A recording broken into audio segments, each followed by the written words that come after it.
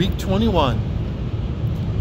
21 weeks since I launched on this full time, and I am presently on the Tacoma, Washington State Ferry, heading back to Seattle from Bainbridge Island. And I just spent the afternoon with uh, my new friends Paul and Karen. Paul is helping me facilitate the, the engine swap in the truck. Letting me use his shop and his tools and his experience and expertise. And we've got all our ducks in a row. Final parts being ordered next week. Uh, we're a go.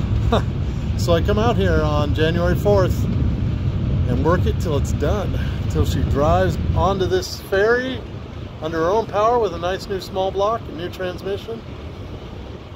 So God willing, that won't take too long. The great hope is to get it done. Two weeks would be miraculous, three weeks would be great but at least within a month, that would be wonderful. So, oh, it's a lovely day out here on the Sound. It's Christmas. Merry Christmas. I'm heading back now. Get off the ferry, take the bus to Ballard. Have myself a little uh, Christmas uh, planning session, I guess in the truck because I'll be in Hella tonight for the next few days.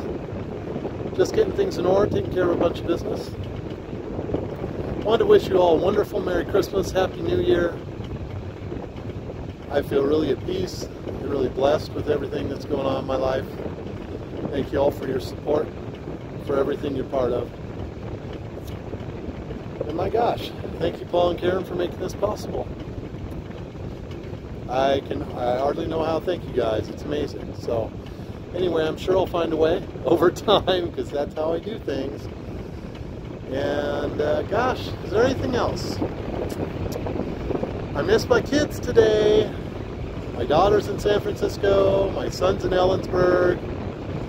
So I'll spend the rest of this day solo, which kind of brings me back